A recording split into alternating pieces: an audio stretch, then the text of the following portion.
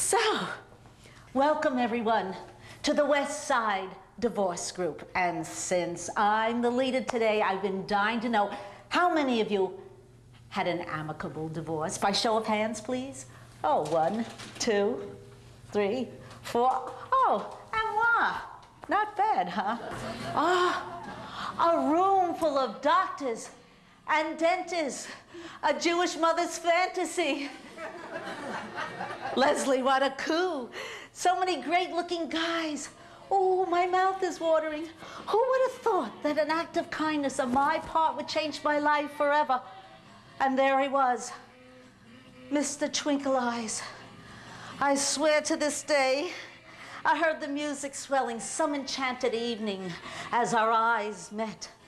Marvin Bookman, the dentist from Brooklyn, extraordinaire. Oh.